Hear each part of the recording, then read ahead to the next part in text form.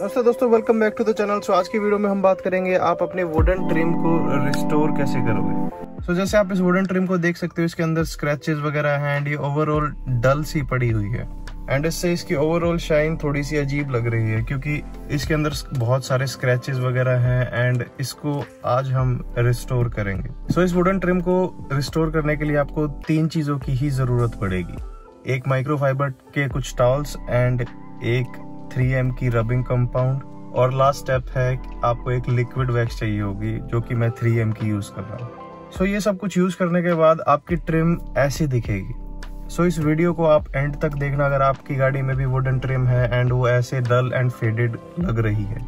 सो so, आज की video में हम इस वुडन ट्रिम को कम्प्लीटली रिस्टोर करेंगे। सो so, कोई भी एरिया है जैसे यहाँ पर अगर ऊपर आपको यहाँ पर रबिंग कंपाउंड नहीं लगाना तो आप ऐसे टेप लगा देना ताकि ऊपर के किसी भी एरिया पर ये रबिंग कंपाउंड या पॉलिश ना लगे। सो so, पहले आप इस वुडन ट्रिम को एक बार प्रॉपरली साफ़ कर लेना। क्या पता यहाँ पर कोई पुरानी पॉलिश वगैरह होगी तो ढंग से बफिंग नहीं होगी। सो so, ये साफ़ करने के बाद अब आप अपना रबिंग कंपाउंड लोगे ऐसे अपने कपड़े पर एंड ऐसे सर्कुलर मोशन में आप इस पूरे ट्रिम पीस को बफ करोगे।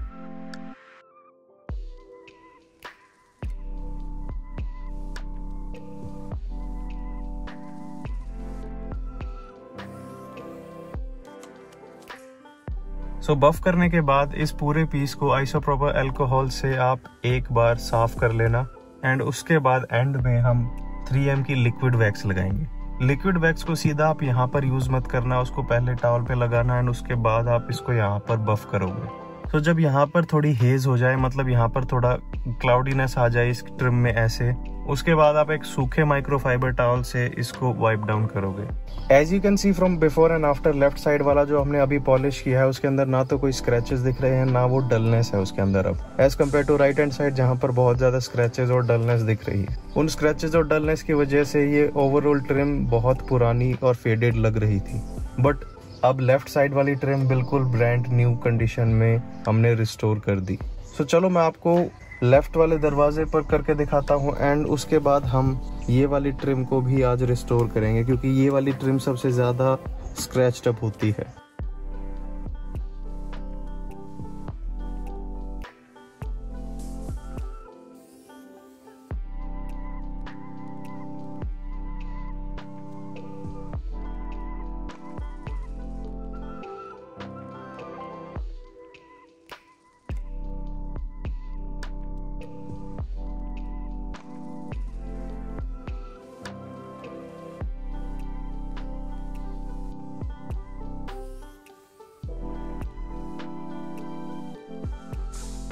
सो मैंने जितनी भी गाड़ी पर वुडन ट्रिम थी उस सब पर वो लिक्विड वैक्स लगा के छोड़ दी थी एंड जब ये हेजीनेस आ जाए तो आप इसको अब फाइनल वाइप डाउन कर सकते हैं। ये वैक्स मैंने कार्बन फाइबर इस ट्रिम पर भी डाला है लोगो पर भी और जितनी भी ये वुडन ट्रिम थी गाड़ी में उस सब पर। सो so, चलो अब इस पर लास्ट वाइप डाउन करते हैं। सो so, एक साफ़ माइक्रोफाइबर टावल लो।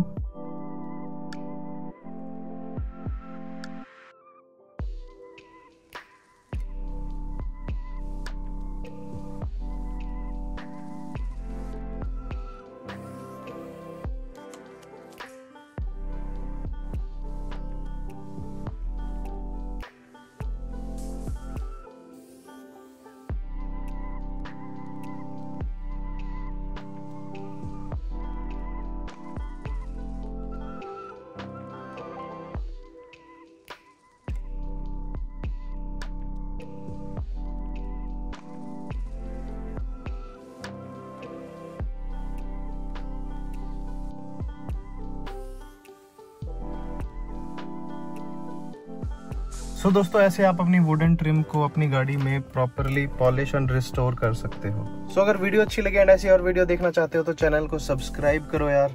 आज के लिए बस इतना ही। आप लोग ध्यान रखो एंड मिलते हैं अगली वीडियो में।